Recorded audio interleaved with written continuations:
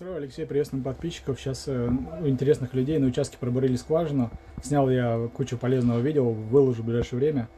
Как сделать э, дренаж септика, который, если высокий грунтовый вод, вода не уходит, снял. Снял про виноград, интересное видео. И сейчас э, пригласили нас в дом, так разговорили с людьми. И в котельной, что хотел рассказать, интересное, может быть, решение кому-то пригодится, это резервное питание, да, получается? Да, резервное при отключении электричества. Если вдруг вот здесь стоит газовый котел, протерм, сколько киловатт? А, 35 киловатт. 35 киловатт. И насосная группа, три насоса по 100 Да. ватт, да? Ну да, примерно так. На, ну, на каждый этаж получается по насосу. Три контура, да, Да, три получается? контура, да. Вот. Но включается, конечно, чаще первый, второй, потому что третий идет тепло наверх, в принципе, третий не часто включается. Вот. Вот, и здесь э, хозяин сам э, заколхозил, да? Не, ну не то, что прям заколхозил. Это она все покупное, то есть два аккумулятора, каждый по 12 вольт, сумме дают 24 вольта.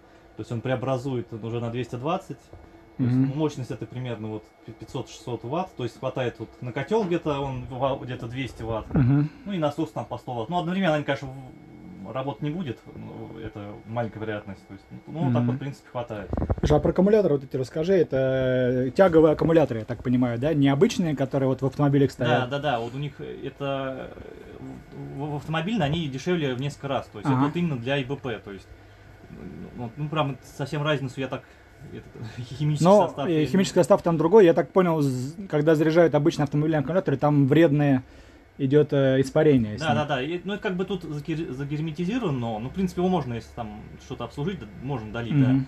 да.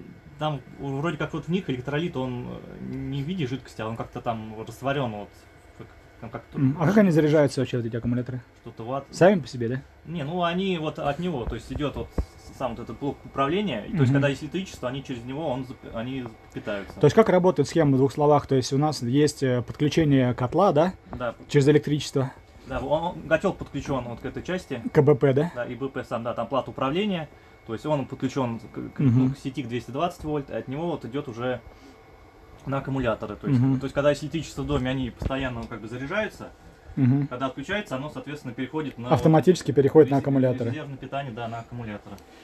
Так что вот такая схема, и можно для твердотопливных котлов, я так понимаю, это использовать. По большому счету, какая разница, да, чем насос Ну, в принципе, да. загружать. Должно вот...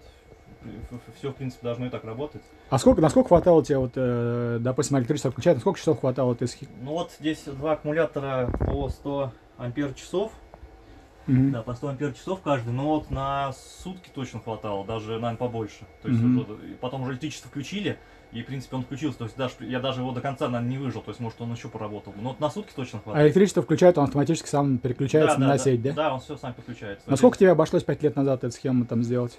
Ну, вот это вот самый БП стоил где-то 1015 рублей, Мгм. и аккумуляторы в то время стоили, ну, тоже где-то, наверное, По 15. Ну, может, не, может, чуть меньше, может быть, 10, там, 12, вот так вот.